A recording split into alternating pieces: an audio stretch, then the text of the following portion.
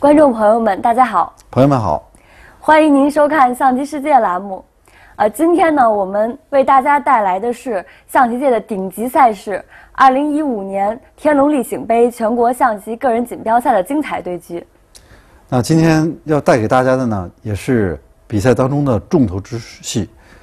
最终呢，这个两位特级大师呢，一位是来自成都的郑维彤，与来自浙江队的啊。呃，赵欣欣呢，最终在决赛这个遭遇。那么这次比赛呢，也是采用了啊，进入六十四强以后的这种双局单败淘汰制，也就是说单淘汰的。应该说这个比赛也是吸引了众多人的眼球。那么两位特级大师呢，进入了这个最终的这个较量啊，一共是下了六盘才分出胜负。那我们就精选了其中的几几盘呢，呃，和大家一起呢。来慢慢的这个回顾和欣赏。我们首先带给大家的这盘棋呢，是慢棋的第二盘棋。对，这个张老师，我觉得这个个人赛今年是呃改改改革改革了，已经赛制不像去年这个双方就是说大家还就是说觉得不会压力特别大。今年就是个人赛的决赛呢，每每盘每次双方较量的时候都是至少。呃，最多能下七七盘棋。对，所以这对，所以这一次个人赛应该是对体力与脑力的双重的这么一个呃那个这个这个较量。嗯，呃，这盘棋呢，红方采用的是三兵体系，卒三棋。那么两个人哈纷纷的战胜了各自啊很多强劲的这个对手。那么这次比赛呢也爆出了一些冷门。像来自这个辽宁的这个钟少红呢，就一举淘汰了蒋川和王天一，也使很多这个棋友呢这个啊觉得这个非常出乎意料啊。对，就是。那当然呢，他在随后的比赛当中呢就输给了这个谢晋啊，终究呢还是没有取得特别好的这个成绩。但是确实通过这一点呢，我们也看出这个比赛呢也是非常的激烈的。然后红方马八进九。卒一进一，这儿双方呢就很快形成了武器炮，啊，对这个平侯马最常见的啊这种三兵三卒的这种开局。嗯，郑维同呢应该说是布局呢也是轻车熟路，他走的呢比较堂堂之阵，打算采用的啊这种最流行的布局呢来进攻郑维同。呃，赵欣欣呢？这里呢，它采用了一个比较啊，相对不是最主流的这个走法，走了一个马二进一。对，它实战是马二进一。一般走的最多的，目前来看呢，就是走象三进五最多。哦，象三进五。哎，张老师，这个棋我我想问您一个问题，嗯，就是最早的时候，大家可能对象七进五的变化更熟悉一些。这个象七进五这个变化，现在慢慢的就是走的人少了。您是对这个变化是怎么看的？这个棋呢，就等于是红方呢，这种三兵体系啊，往往是采用了一个整体的缓攻的这种阵型，它不像七兵那么激烈。对。但是呢，红方总是有一些小小的先手呢，对黑方呢有一些牵制啊和这个威胁，它整体的进程呢不是那么快。对。那么，至至于呢，走到这个阵型下呢，就是黑方呢主要有四种走法。一个是卒一进一对对卒打开，另外呢就是补三象和七象，补象七进五，也就是左象呢，在九十年代啊非常流行。那么最主要呢，红方后来出现了马三进四这种啊先手攻击中路的这种走法。但是现在呢，黑方也找到了一些办法。嗯，啊，原来赵欣欣呢也是比较喜喜欢走象七进五，然后马三进四车进三。哦，他也是喜欢。对，他也偶尔走一下。呃，七项呢来讲呢，应该说也较为合理，但只不过可能现在大家对这个变化呢，没有特别深刻的去钻研。现在这几年是象三进五非常流行啊。可能更喜欢这个飞三象或者是呃马马登边兵这些变化。马登边兵呢，是最近两年呢这个走的多了一些哈，以往。大家都觉得这个马走到边上去，容易把这个棋子呢走偏了。对，这个棋确实也是。如果一旦呢运转不好呢，就是容易的偏离主战场，带来一些后患。那么赵欣欣呢，这个艺高人胆大哈，他对这个布局呢，也是研究的非常啊深刻。他走马二进一，就采用了这种啊反击的这种走法。那么红方走炮七退一，七退一。早先呢就是炮进三走的多。这种走法呢，就是说也是利弊参半。好处呢就是先得了一个实惠，但是不利的地方呢，就是说这个炮打出来去以后啊。这个后续的力量呢，不是特别的有劲儿。黑方呢也有走卒一进一的，也有走车车进三的。车进三啊，呃，就是这两种变化呢，黑方呢也都是可可战。那这个变化由于太多，我们就不给大家呢这个细讲了。可能炮七退一也是想保留变化，以后也可能会炮七平三啊什么的。相对呢含蓄一点，就是说的，这个中国人讲究呢这个哈，弹无虚发啊，兵法里边也有这个理念。是啊，就是连红方呢不急于呢把这个子力呢冲出去，而是躲在自己的阵营里边呢，来进一步调整，啊，他想这个啊后厚积薄发嘛。然后黑方走车一进三，红方红方车九平八，黑方炮二平四，红方车二进五。车二进五呢，也是一个比较凶狠的这个攻法，准备吃卒或者车二平六，来看一下黑方的这个啊表态。嗯，啊，不过这个棋啊，他是先卒一进一过过来了，好像是先过兵，这没关系。嗯，你就车九平八，他卒一进一嘛，然后他先保住这个编码，他先炮二平四也可以，其实都关系不大。啊，这个地方呢，就是先走哪个后走哪个，目前来看，它差别不是很大。呃，第一盘棋呢，这个双方呢，就是赵鑫和郑维彤呢，双方打成了平局。对。那么这盘棋呢，也就是在十一月三十号下的。对，上午，然后两人这是决赛的第二盘慢棋。对。嗯。那本本次比赛呢，刚才我们已经向大家介绍了，是采用这个啊单败，啊双局的这种淘汰的走法。对。也就是说，两个人要下两盘慢棋。嗯。慢棋如果打平呢，就再加赛两盘快棋。快棋打平就是两盘超级超快棋。对，嗯，如果这六盘棋两个人全部这个战平的话，嗯，那就下到这个第七盘的决胜局。决胜局呢，也就是说采用这个红和盘负啊，但是红方的时间呢会多一点。对。但这次比赛呢，就是也险些呢下到这个第七盘。好，我们接着看这个棋局的变化啊。嗯。走到这儿呢，作为红方来讲呢，可以走车二平七杀兵。那黑方可能会象棋进五，然后你车平六，他再士六进五。对。将来红方在车八进二啊，保留炮五平七啊，来这种叠炮打门攻。但是黑方呢也有一些反击，黑方走炮八进四啊，对红方也有牵制。对，挺复杂的一个变化。但是赛前就是我看这个棋也挺有意思，嗯，就是说车二平七吃兵这个变化，就是两位棋手在个人赛。之前已经较量过两盘棋了，都是以和棋告终，所以这盘棋他们俩又较量一次，而且郑维彤走出这个车二平六的一个很，我感觉是一个很新颖的一个走法。张老师，您对这招棋有什么看法？这招棋呢，其实也是出现的啊比较早，但是呢，就是说这个布局本身呢，它不是最主流的布局，因此你看高手下呢。你有时候就能看到他们下这个变化，有时候你就看不到，因为他有时候走不到这儿。那车二平六呢？应该说是郑维彤呢这个潜心这个研究，可能是专门针对赵欣欣的走法。嗯，就是红方这个策略整体上来看呢，它比较稳健，它没有这个吃兵凶。对，但是呢，就是说红方呢可以呢稳步推进呢，获取一些小先手。我是这么这个看的哈，就是。他首先他把他的炮封住了，对，黑方也得补齐，对，十六进五。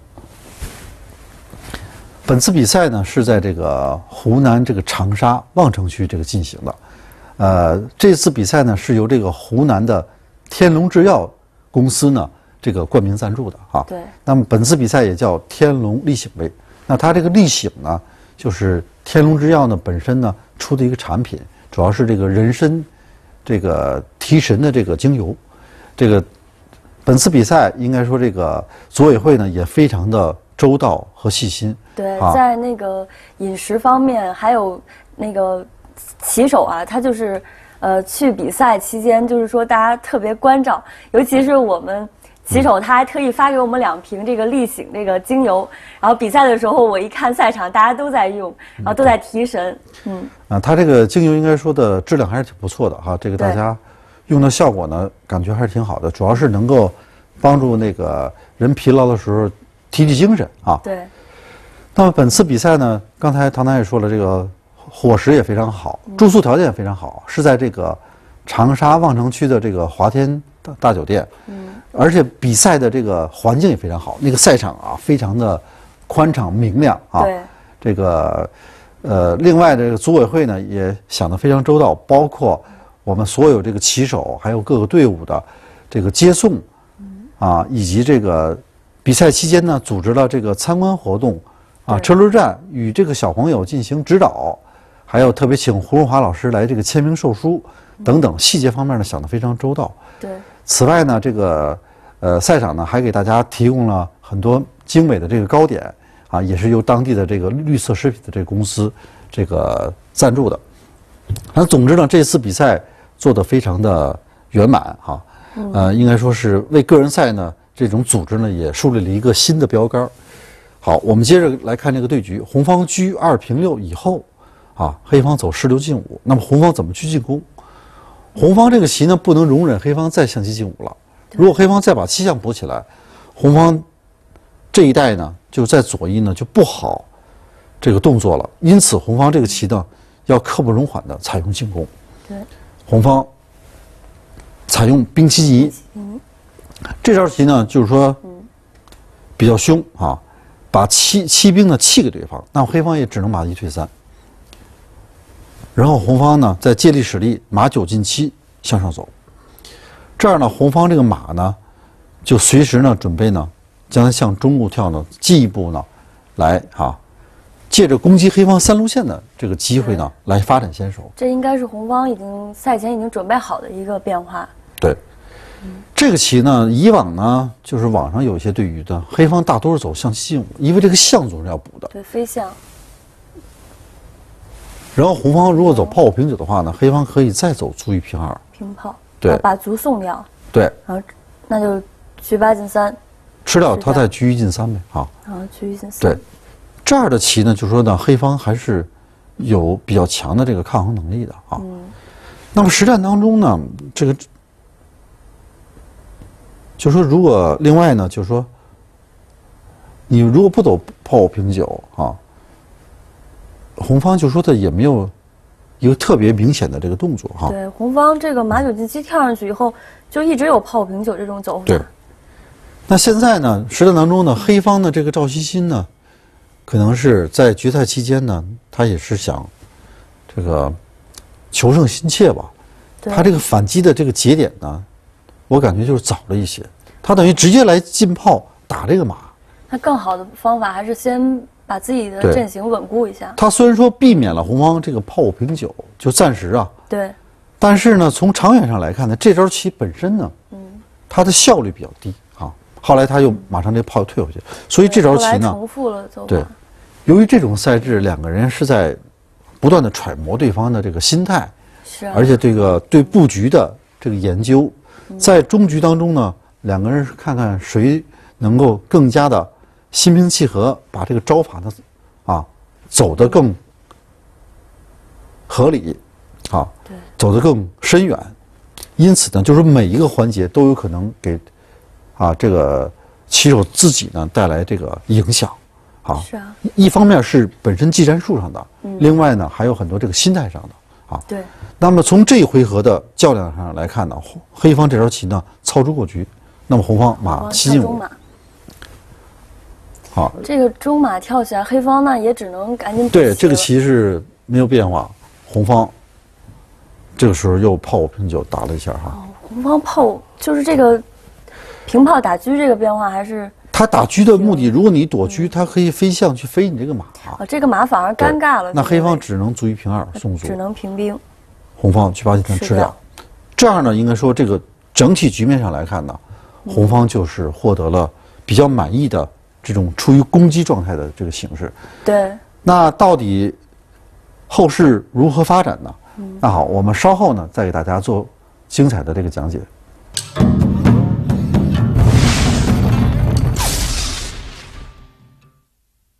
应该说呢，这个时候对于黑方呢是比较多的考验了。实战当中呢，黑方走了一个炮八退二，对，这招棋呢又是太重复了，因为黑方这个炮上一招棋刚进来啊，所以说黑方这个棋应该走车进三。啊，先把车点进来。对，如果你飞象飞塔，它可以啊有车平四这个手段啊，平车啊，它有对车这个手段。这样这个马还是挺安这个棋呢，如果你马五进七啊，嗯，那么黑方也可以把你飞掉。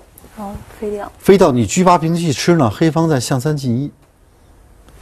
对，这个看起来呢，就是说黑方这个阵型呢有一点虚浮，但是呢，也只好这么下，因为飞起来以后还有炮对平三这种反击，暂时没有什么危险。对，很难。嗯，但是可能临场当中呢，赵欣欣呢不太愿意接受这样的这个局面。但是呢，这个形势呢，就是对他走炮八退二，对。他也是可能想现在就保住这个三卒，并且这个有子午进一的这些走法。对，但是他现在来不及了。你要黑方能抢子午进一，当然可以了。对啊，那么红方先走，那红方就正好把马跳进来，马五进四啊，嗯，然后黑方紧逼，黑方只能车八平六。没办法了。这个时候红方走了一个非常好的棋啊嗯，他先走炮七平九，先把你这个车啊打暗，嗯，黑方这个车只能车平三。对，只能这个车啊进去以后呢，红方才有更多的这个动作啊。我们看啊，红方先握一将，黑方只能电垫，红方就把它吃掉。这个棋呢，你如果车六平七吃，嗯，红方呢可以在车二平六回来，啊，这个三路马太太危险了，比较危险对，下步一飞就把你捉死了。对。那么黑方呢，先跳一将红方炮九平六，平炮，对，哪个吃哪个呢？那相相对来讲还是这个金炮好一点，因为吃这个的话，他怕他将来去车还二平六是有这，个对居二平六走法，对，他吃所以他他也只能这个，只能这个换炮对四进六打掉，然后红方车八退二捉七的。八退二，这个棋呢，作为黑方来讲就比较不好选择了哈。对他临场呢选择马四退六也无可厚非吧。如果马四退三的话，红方这个一将车八平四，把黑方这个子力全部牵住了。是啊，黑方还有这车三退二，将来呢红方可以下底炮，三路马也可以出击。对，总之呢两个车都都受牵制，对，红方的机会要多一些。嗯，那黑方临场走马四退六，但这招棋呢就给红方呢一个比较容易的哈、就比较明显的这个啊得势的这个机会。对红方实战当中呢走的也很好，他走的比较深远。对。实际上还有一个非常简单的这个走法，就是红方啊马上就占优的这个走法，一将，对方只能退士，退士红方车八平六，，G 八平六，这是一个偷杀哦，车二平四要砍死你，哦，有一个杀法。有，一个沉下车，你只有办法了，只车能这个六平七，然后红方下底炮，底炮，下底炮呢要吃这个底士哈，嗯，你这个卧槽将都没有用，他就上帅。对，这个棋黑方就只能车只能车七平四，送车，送一个，然后吃掉，对，这儿呢，我们就是招法就不用向后摆了吧？嗯对就说你只能去吃车，他杀一将，然后他把炮吃回来能。够白吃一个士啊，兵对种也好，对，这个棋子应该说红方的优势呢就比较简明，可以非常简洁的获获得这个物质上的和兵种上的优势。是，那郑维彤呢，可能也看到这个了，因为这个嗯棋并不是很难。郑维彤想的呢也很深远，他走的招法也非常不错。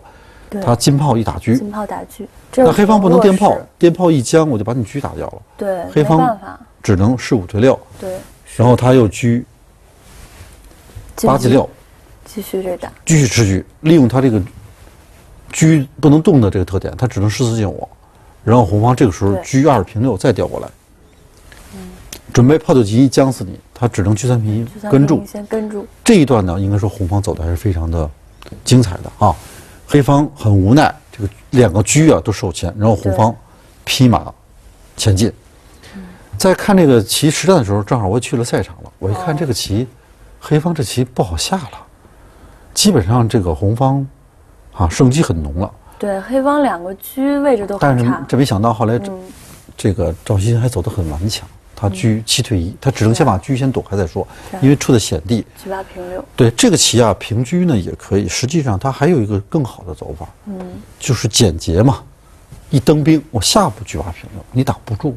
对，黑方只能走士五退四，因为他赶紧赶紧落士回来。然后你车八平六一叫杀然后就把象登了。哦，这象还是丢了。那么由于时间关系，我们不给大家细讲了。对他把象登了以后呢，黑方只能走车一退二，二得去。啊，一车二，一车二的话，这个残局主要是兵种不好，对还有一个呢是残象，所以说红方的胜机也比较浓。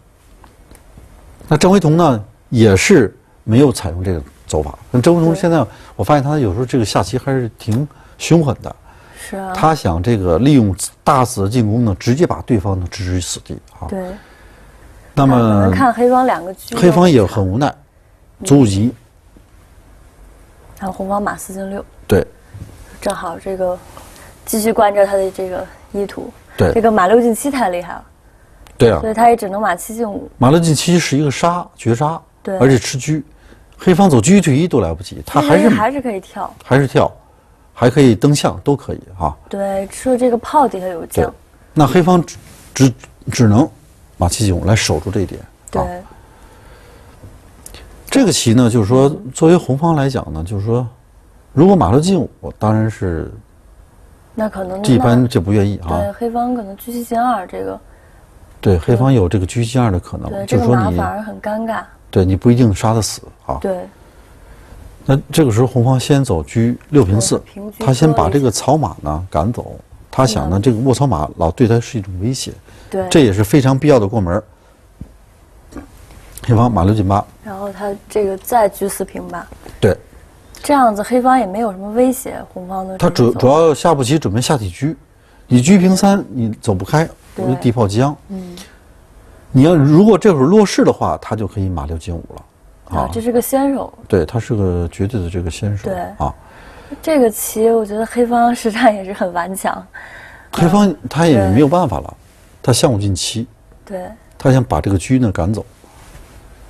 那这时候这个时候红方居六平七啊，对他实战是居六平七。对，也是可以。就是说，郑惟桐呢，就是在攻击的时候呢，就是在有各种各样的选择的时候，他选择的呢还都较为正确。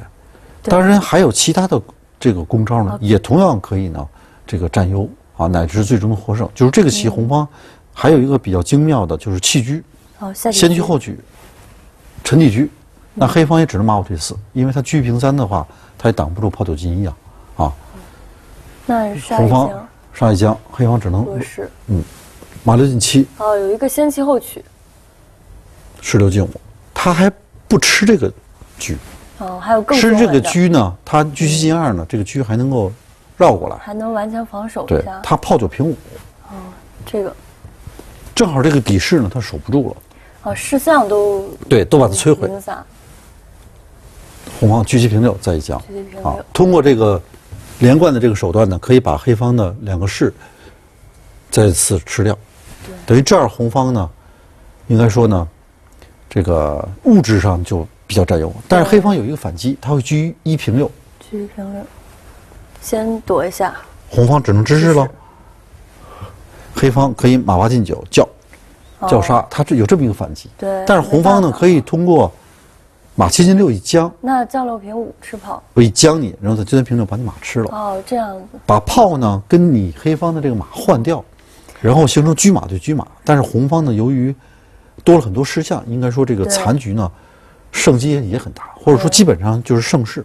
对，黑方也挺难防守的。对，这个走法呢，就是说红方可以呢通过这个子力的转化呢来获得优势这个残局啊。嗯，郑惟桐呢可能觉得这个嫌麻，是不是嫌麻烦呢？还是他临场没有完全看准？可能看啊到车六平七也还不错。也很凶，他车对，六平七，然后黑方也只能先落个士，先赶紧先守一下。对对，嗯，他也没办法，红方方炮九平平八，这一直不敢落象，马六进五太厉害了。对你先回象，他就马六进五了。对双车炮就形成了这种杀棋了。对，索性就车平四，嗯，然后黑红方也就，红方还挺狠的，就直接就对弃子。这肯定是这招棋啊，吃马不好，吃马这招棋险些呢，赵欣欣呢就是直接就败北，哦他这棋只能走车进一，更冷静一些啊，你抛花进一，炮花进一，然后他车七平四，反正这个棋啊，他也不太好。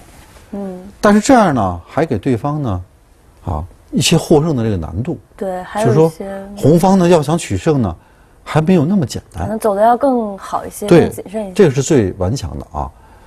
这个棋呢，它吃马了，这个棋啊，实际上就不好嗯啊。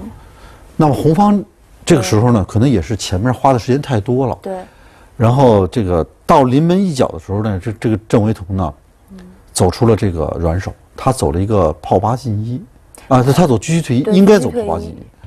炮炮八进一呢，这个棋就可以基本上锁定这个胜势了，对。因为现在要抽车，你如果上将，上将呢太危险，他这个车将啊，不，他不讲车车八进五，十八进五抓你。啊，先捉一下，你这个马很痛苦啊，这个马没有地方去了。不不好定位，不能马五推四，马五退四炮八平六你马五退七车都丢，了它也是炮八平六，你这个车就丢了。那个炮八平六七路一打很危险。不是很危险，现在就丢了哦。你你长一步，没办它车一将，然后对掉一个车，再一击，再另一个车车再点将，就是你这个车就丢了。对所以他抓这个马，黑方这个嗯呃马就没有没有路可逃啊。你马五退六，他啊对他就车车退一提一将，就把你的马白吃了。对，不能电车，炮八退一。那这个棋呢，你你不能上将，那走什么呢？他只能只能丢车逃。那红方提一将，车前提一将，提一将他只能支势支，势然后红方再炮八平九。再平，反正你这个两个马不，着急啊，跑不了我上马也能吃，下马也能抽。对。你要马五退三的话，我就将两军把你这个抽掉。这个马抽掉，对把有把这个威胁的马对。给吃掉。而现在我要车沉一将，带将吃你这个马，所以这个棋应该说红方呢取胜呢不难，嗯。非常非常可惜啊！这个郑惟桐前面这个中局走的都啊非常的准确，就是到了最后，呃这个走法的时候呢，对。嗯这个差了这个啊至关重要的这一环，应该他先他想他。狙击队一可能想先控制住这个对，但是呢，这个棋呢一下出了一点小变化。对好，我们来看啊，他车七退一，狙击退一，然后啊黑方是马五退四，对这个走的特别顽强，这个这步棋。这招棋可能是郑惟桐忽略了。对，啊，嗯因为你要是打掉的话，就是黑方的整个呢缓解了。你要是一将，他有可能上将了。上将呢，你刚才那炮花平六那些动作就没有了。对所以这个棋呢了，呃，等于节外生枝了。红方等于前边走得非常精准，那么就由于这个一个回合呢没有走到位，把这个大好形势呢，不能说葬送吧，反正是基本上呢，这个前边的努力呢应该是白费了哈。对，非常可惜啊！当然说两个人这种单挑的这种啊决战呢，可能这个心理也要承受很大的压力，尤。其是第二盘棋嘛，对压力肯定更大一些。对，因为这盘棋无论谁胜谁负，对就将意味着这个终结比赛，而是获得这个锦标了。嗯那好，我们看看最后他们两个人的这个招法，红方就先平车捉了一下嘛，他保住，对，然后，然后然后红方呢，也没办法，他就说的看到这个棋呢不好控制了，他就是采用的，他他也走这个，好，对，然后他是炮六平三。炮六平三，他象一回象七退五，对这个棋呢，就是说，由于红方这个子力啊也是受牵，他索性呢摆脱牵制，那这样双方就接受这个平衡的这个局面了。对，最终握手言和。对，好，那这个这个棋就简单了，他最后把马吃了，最后双方形成车兵残局啊，这样呢就下成了和棋。嗯，那这盘棋呢，尽管紧张激烈，但是最终呢还是和了。对，那稍呃稍后的节目的里边呢，我们还会给大家继续介绍他们二位的争夺的精彩的对局。好，朋友们再见，感谢您的收看。